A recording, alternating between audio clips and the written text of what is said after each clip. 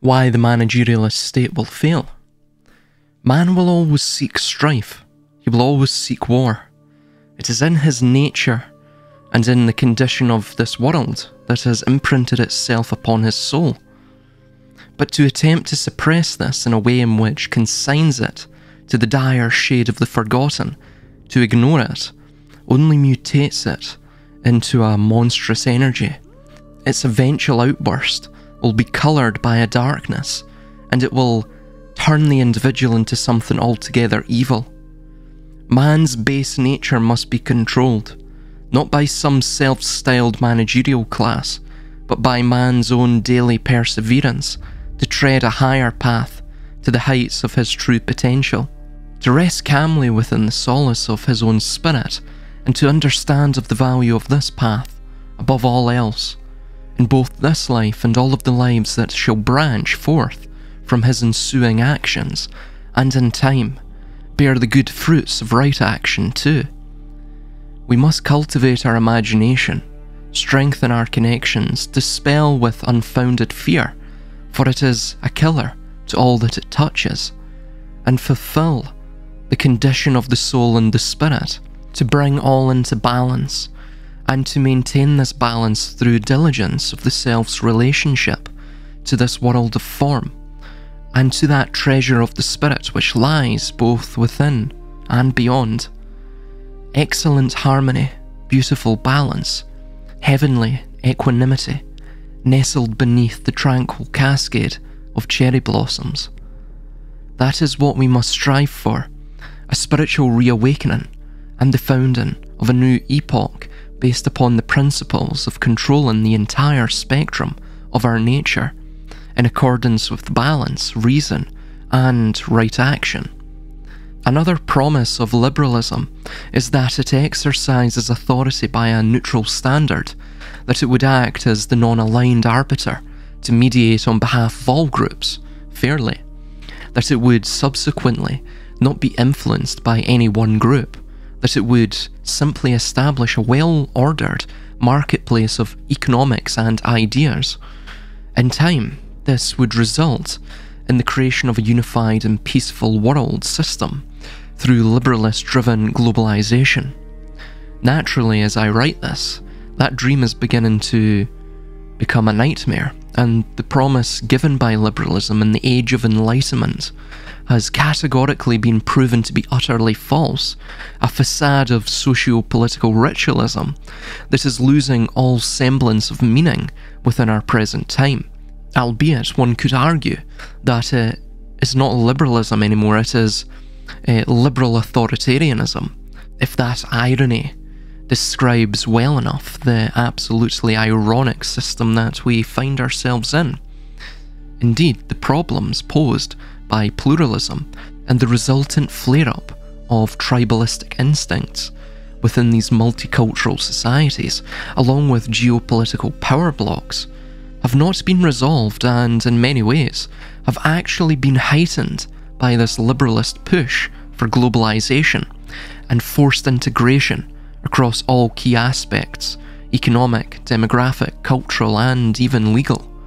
As we're beginning to witness with the economic and military rise of the emerging BRIC power bloc, the ailing managerialist and liberal paradigm has yielded the inverse response to what it was seemingly looking for. It has, through its failed policies and utopian related short sightedness, established a geopolitical environment that is far more chaotic than ever and tribalism or nationalism is on the rise across the entirety of the world. Was this the plan all along, or was this merely a consequence of unfathomable incompetence? I side with the former, of course. I think this is all an agenda to artificially collapse the West.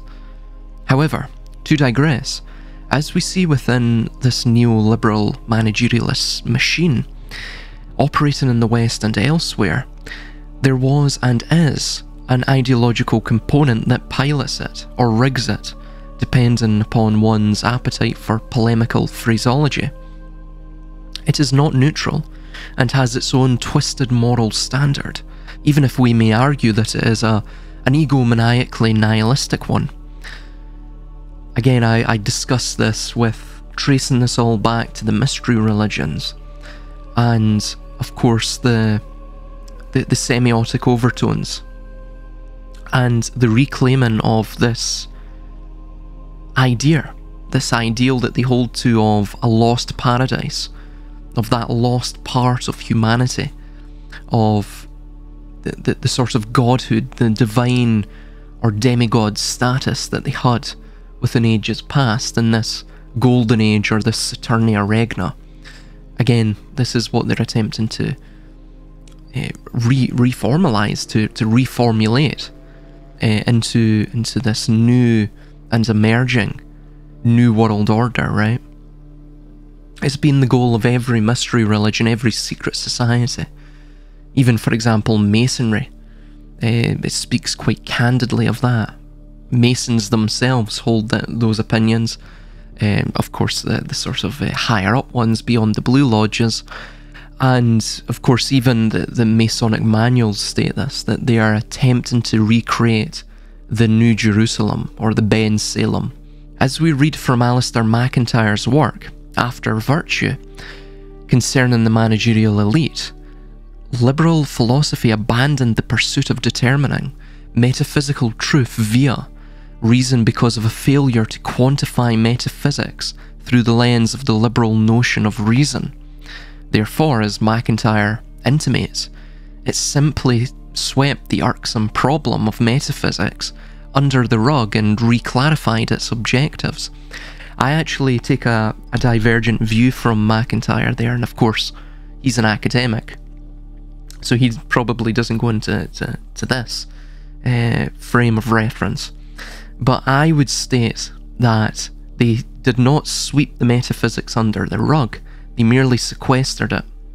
They sequestered the power of investigating the metaphysical, of understanding the metaphysical, because that is what uh, sort of put them, uh, one could say perceptually, above the canvas. They were looking at the painting, right? Uh, while, of course, us with materialist science, we were, you know, the purely physical, we were in the painting looking at the painting as reality.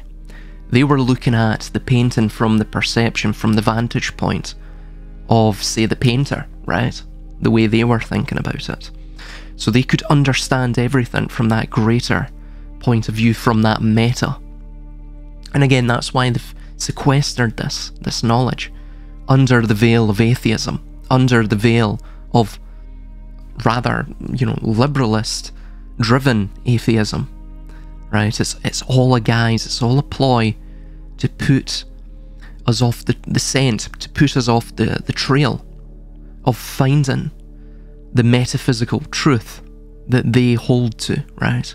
They're a people of the idea, they're not a people of the book, they're a people of the idea. They determined an idea long, long ago, or they discovered it rather. And this idea allows it's it's almost like a a unified field theory, and it permits them control of psychology on a collective and even individual uh, basis or interpersonal basis, and it also permits them the the the sort of inspiration for mass technological advancement, and also, of course, they understood about you know the geographical um, continents, right? The the land masses of the Earth long before we did. They were coming to America for you know millennia prior to Columbus, right? We have Phoenician and even, uh, funnily enough, Block Hebrew, which uh, was only used this type of Block Hebrew that they found in, I believe it was New Mexico, uh, with the I think it's called the Decalogue stones. They were that was only used in the, the first century AD. Then it fell out of favour uh, rather rapidly, actually after after the first century AD. So therefore, if that's you know if the Decalogue stones that uh, use this uh, very um, specific form of, of Hebrew script have been found in, in New Mexico, then it tells you that Hebrews were, were over here, that they, they travelled to this land. It probably as well uh, links to the land of Ophir. That's that the land of Ophir to the east, which took three years to get there, according to the Old Testament records, uh, and is where they found monkeys, you know, gold, silver, all that. That that potentially could be there the Philippines, could be uh, somewhere in Arabia, but that doesn't make sense, really, because you know, um, from Israel to Arabia or from Canaan to Arabia doesn't take three years, or of course, it is uh, the Americas. We have Phoenician um, inscriptions as well. We have Celtic Ogham inscriptions too. Funnily enough, the Phoenician inscriptions that were found, I believe, in the northeast of uh, the continental United States.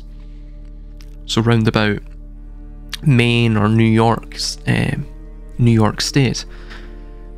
I'll try and find them and I'll, I'll post a picture here. Um, it's stated that within the inscription, if you translate it, the Phoenician inscription, it uh, essentially um, stakes a claim by this Phoenician maritime corporation on this piece of land, right, that they discovered. So they had all of this, they sequestered all of this knowledge, and just like the metaphysical knowledge, they sequester that too via uh, the championing of atheism Again, this was done in response to the Enlightenment. So, as people yearned for freedom, yearned for knowledge, they had to satiate that, but they also had to maintain their advantage over the rest of the laity or the rest of the, uh, the masses. So, again, they had to champion atheism, uh, nihilism, agnosticism as something that was fashionable for the intellectual class right? For those yearning for knowledge, for freedom. Continuing on, in lieu of that, it determined that the only moral objective left for it to purpose, or pardon me, to pursue, in the absence of any value placed upon metaphysics, was its inherency to produce efficiency. Indeed, among other things, this is one of the key reasons that managers have since become crucial components to the liberal society.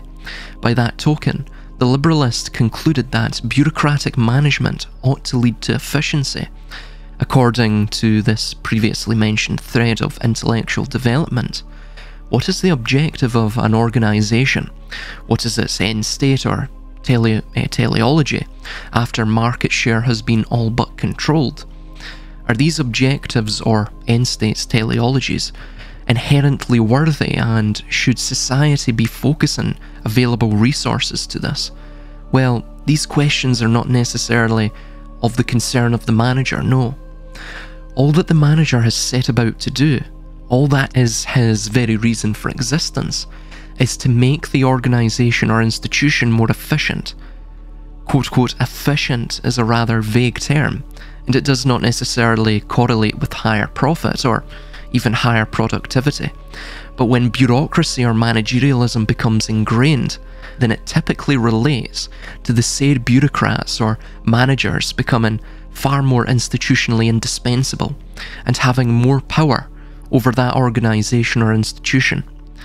As we have seen from recent Hollywood dramas, the tactics of greater efficiency carried out by the managers usually leads to thoroughly positive personal outcomes for the managers, but less than positive outcomes for the society or organisation as a whole.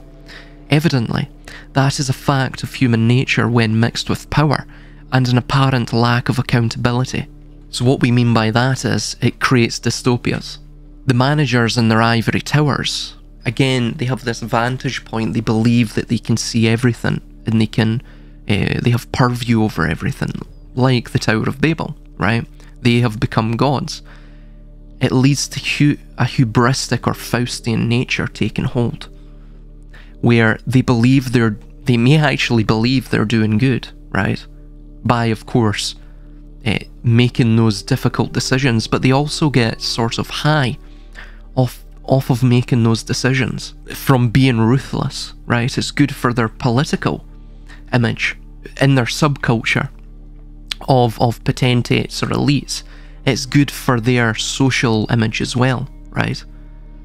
If they look ruthless, if they command dread or, you know, they have a certain degree of gravitas around them from making these tough decisions and being very resolute in it, right? Again, the decision could be a terrible decision, but if you're resolute, if you're, you know, um, if it's a dictum that you have given, a maxim, then people look to you as the authority. They look to you as, you know, the big man on campus.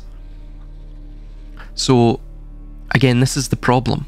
You, you can't get efficiency when you're dealing with human beings. Not efficiency, um, you know, like a binary efficiency. It, it doesn't work. And of course, efficiency itself, when it's mixed with the human nature, essentially leads to um, the managers or the despot or the chief or, or whoever. They will determine efficiency on their own grounds, and their grounds were, pardon me, their grounds will typically result in them uh, judging efficiency by how indispensable they are as perceived by the masses, right? So again, their efficiency is not higher profit or higher productivity or higher happiness in the society.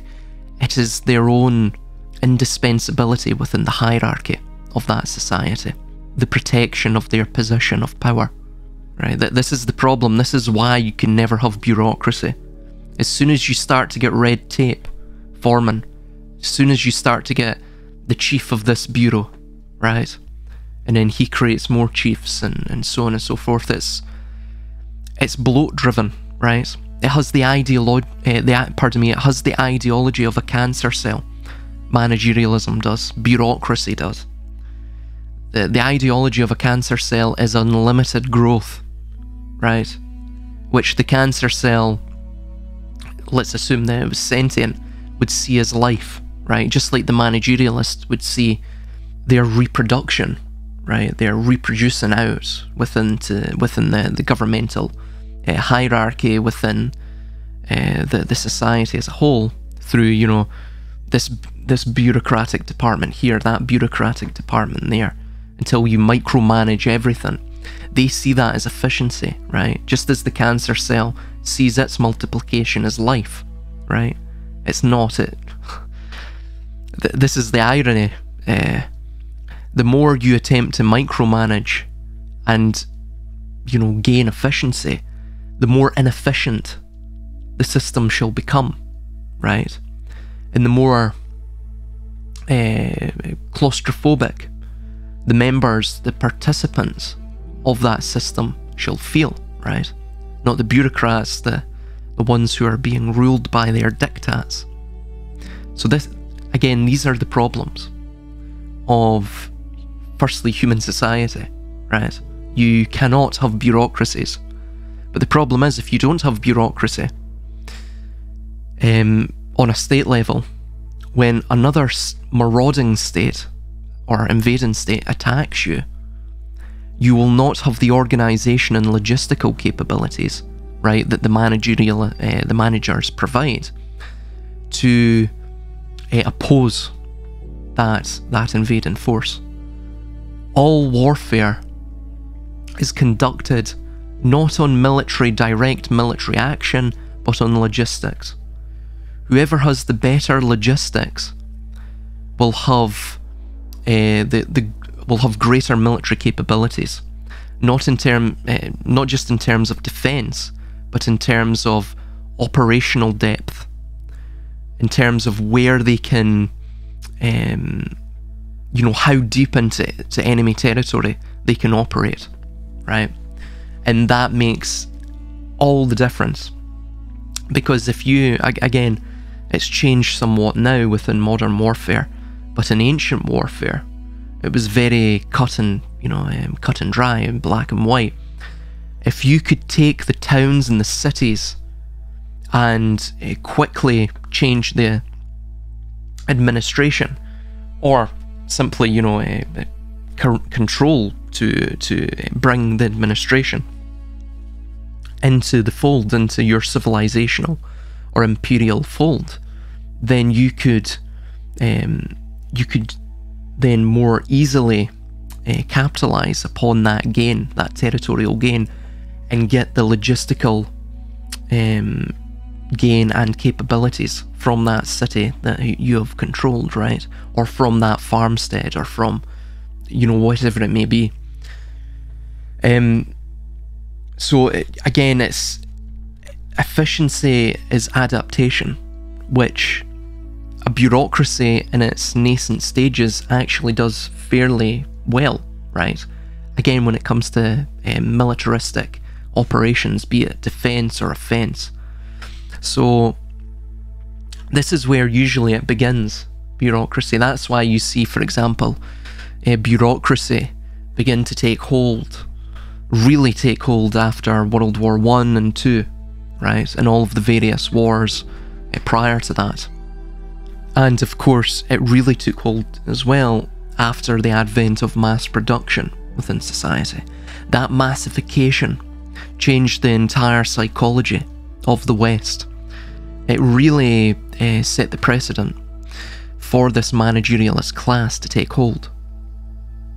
Which, of course, it has. I mean, in, in the society on the back of that has become uh, largely atheistical, right? The Enlightenment paved the way, but really, mass production and industrialization really, you know, it, it, it finalized.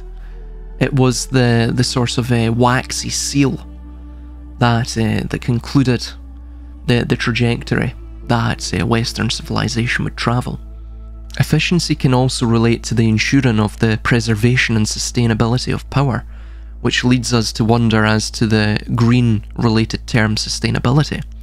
And we see the way in which such power has typically been exercised by the managerialist state on controlling not only the domestic populace, but upon prospective colonial uh, subjects. One way in which this is achieved is through the control of the necessities of life water, food, social contact, and reproduction. In regards to the notion of food, though it is a rather infamous and well known fact that communism used food and famine as a weapon, what is less well known is how the neoliberal, managerialist regimes of the West utilised food and famine as a way to control their subjects or victims. To begin, the United States, the heartland government, uh, governmental power rather, of managerialism, gained quite the ill repute in its destruction of the natural diet and food source of the plain nations namely the bison, and the decimation of the majority of its population, and through the destruction of this cornerstone of culture and sustenance. Why, eh, pardon me, what was put in its place? At the time, grain was introduced as the heavy substitute, which was arguably less nutritious, highly addicting due to the transformation of one's gut biome uh, in the migration from fat and protein to primarily carbohydrates, it led to a great propensity of afflictions due to carbohydrates' deleterious effects upon the human body, and it urbanized the indigenous people as they were now reliant upon the agriculture, or pardon me, the agricultural and civilizational framework for their heavy grain intake. Moreover, it broke down the self sufficiency of the indigenous population, which paved the way again for coerced integration into the urban polity of the burgeoning United States and the manifest destiny, which was entwined in, uh, with the Monroe Doctrine of 1823. Therefore, freedom and the expansion of this platitudinous and largely false abstraction of this civilization defining concept resembled, more so than not, a form of urban serfdom where one was stripped of their inherent and unique cultural identity and enslaved by a terrible diet. In the modern era, this was replayed after World War II, this colonial cuisine being a key to colonial or feudal control in the Pacific Islands that fell within the sphere of influence of the United States. For example, the islands in question and their related obesity rates are, Nauru, 61%, Cook Islands, 55.9%, Palau, 55.3%, Marshall Islands, 52.9%, Tuvalu, 51.6%, Niue, 50%, Tonga, 48.2%, Federated States of Micronesia, 47.3%, Kiribati, 46%, Samoa, 47.3%. The tale of how the US colonised and subordinated these lands by means of frankenfoods and exporting obesity is rather insidious, yet ingenious, as is always the case with schemes of imperial expansion. However, to begin, post dating the Second World War, the US sought areas where they could remotely and relatively safely detonate nuclear weaponry and test the effects of radioactive material in a post nuclear event, or so the story goes. This subsequently poisoned a great deal of the marine life and led to the Pacific Islanders in areas such as Micronesia and the Marshall Islands to rely heavily on the imported fast food and chemically laden preserved foods of the US, which they had already become familiar with during the war years. Unexpectedly, this led to a precipitous decline of the health and longevity of the islanders, with them being some of the most unhealthy and diseased populations on Earth. Now, of course, the islanders are completely dependent upon the US both culturally and to satiate their now fast food addiction, with the US using these fast food mega corporations and the pop culture that is entwined with this consumeristic and blighted lifestyle to project their soft power across the world and to colonise wherever the pathogenic ideas and said lifestyle pervade. Of course, another avenue of this is through drug addiction, with the Wuhan laboratory, that one that has become famous in recent years, along with the notorious Dr. Anthony Fauci, for synthesizing and producing the synthetic opioid of fentanyl. The one that is ravaging through the West at present. This is then illicitly and covertly shipped to Mexico, where the cartels smuggle it to the US. Alternatively, the drugs are also shipped into ports through Vancouver and other ports in Western Canada, where they are then cut or mixed with other uh, drugs to lower the purity. These are typically made into a form of heroin or they are simply pressed into counterfeit prescription pills. From both Canada and Mexico, they are sold through North America and primarily in the US as a way to destabilise and destroy the country. Naturally, due to the artificially high and constricting medical and drug prices in the US, this funnels people down the path of using counterfeit and black market alternatives to proprietary medication that would otherwise be prescribed by a doctor. Upon the purchasing and ingesting of these counterfeit drugs, laced with synthetic opioids, the individual shall become quickly addicted or simply overdose there. Moreover, recreational and typically soft forms of drugs are being nefariously laced with synthetic opioids as well, which may actually kill the user upon their first high from it, depending upon the level of purity of the synthetic opioid still present in the recreational low end drug after cutting. Needless to say, this is an epidemic and the US federal government is doing jack diddle squat about it. In fact, they seem to be facilitating the trade by protecting the Mexican cartel and Canadian biker gangs and drug gangs side. Indeed, this is also the reason why the federal government acted so belligerently to Texas when they decided to call a state of emergency and shut their border down. That being, if the border is shut, then the fentanyl cannot flow freely. Hence, Americans cannot be covertly murdered by the treasonous federal government and their cartel mules, who distribute this opioid derived bioweapon to children, teenagers, and vulnerable adults.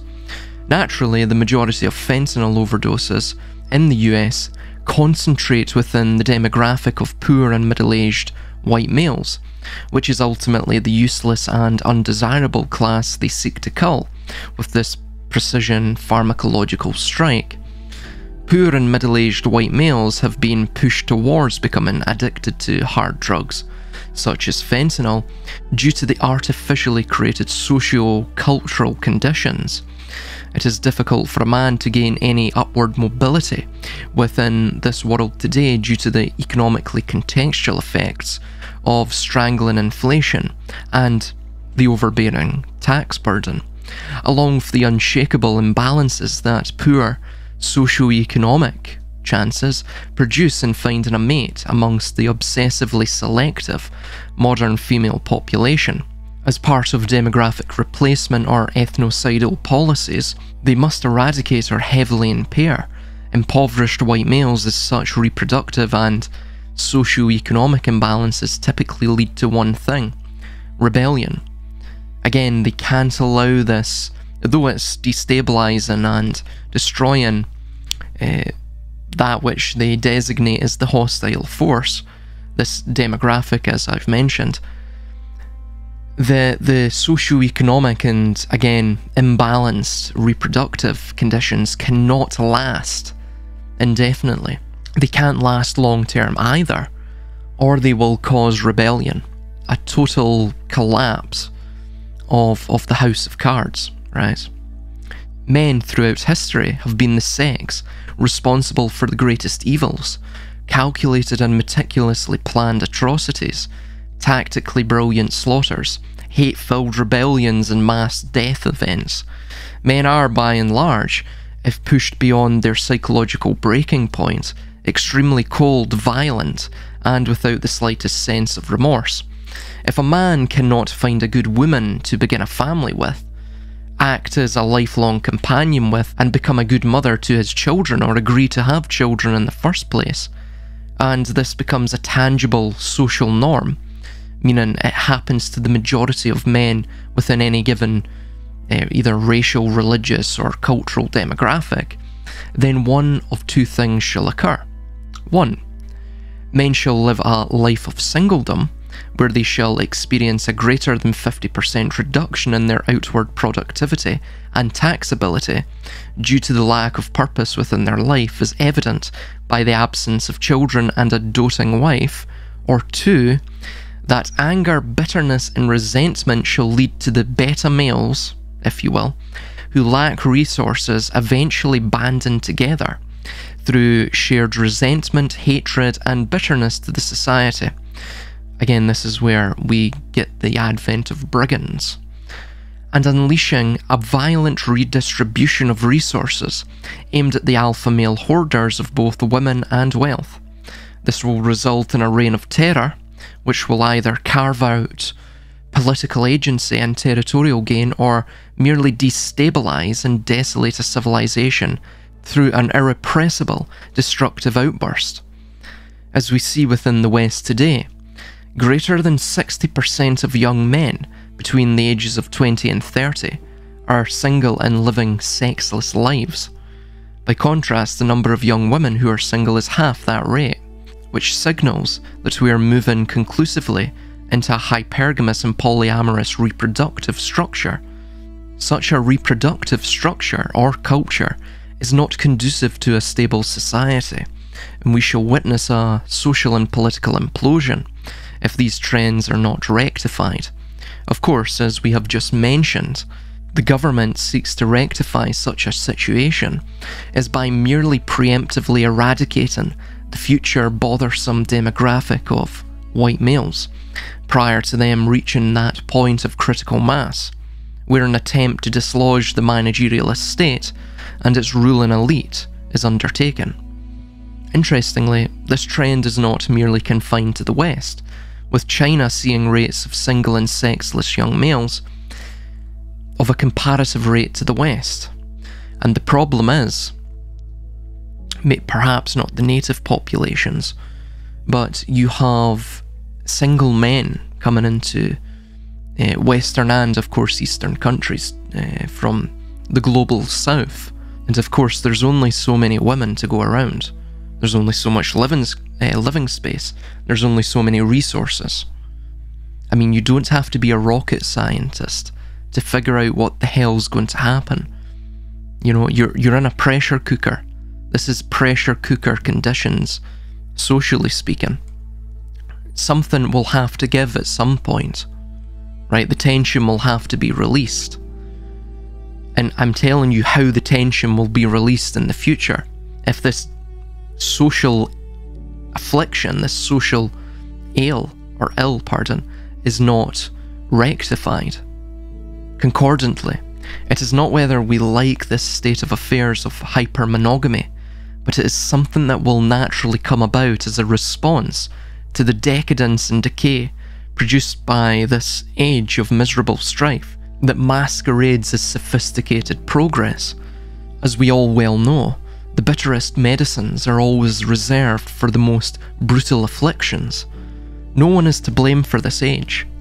It was created by radical revolutionaries hell bent on the destruction of humanity and the restructuring of all life into their own twisted and brutalist vision for some utopian dream that seems to more closely resemble a dystopian nightmare, albeit.